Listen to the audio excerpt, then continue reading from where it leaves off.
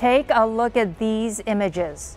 Just a sample of what dozens of Milwaukeeans claim they have lived with for years. All of them in units run by the Housing Authority of the City of Milwaukee. This is a story we have been covering for weeks. Federal agencies claim HACM is in trouble. Now, city leaders say this has gone too far. Our Jenna Ray joins us live now from City Hall in downtown Milwaukee, where residents vented their anger at the housing agency today. Good afternoon, Jenna. Hi, Susan and Steve. Just about an hour ago, this council chamber behind me was filled to the brim with neighbors from across the city of Milwaukee. It was a really contentious afternoon with people booing, applauding, and a lot of emotion. Residents say they want to see change, and a common council committee just voted to do that. We are not going to quit. We're going to fight till it's right, and we are. That's the message from dozens of Milwaukeeans Monday afternoon. All of them living in units ran by the Housing Authority of the City of Milwaukee or HACM. This is my apartment. This is my bedroom. Baseboards falling off the wall. This hole's big enough for a cat to come through, and he and he often does.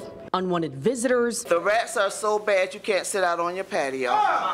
And bugs galore. Bed bugs And the washer, a dryer on the floor. All of these issues brought to a Common Council committee meeting Monday as city leaders work to step in to hold HACM accountable. When does basic, basic decency kick in? Nobody is talking about the dignity and respect of these people's lives. Over the last several months, TMJ4 has learned thousands of complaints and maintenance requests from HACM residents have gone unanswered possibly for years. That's on top of the recent U.S. Department of Housing and Urban Development reports alleging HACM is at risk for serious fraud, waste, and abuse. Now, city leaders want to appoint the Department of Neighborhood Services, or DNS, to oversee HACM for accountability. Do you think it's acceptable for anyone in the city of Milwaukee to be living in a condition discussed as some of the ones that were here today?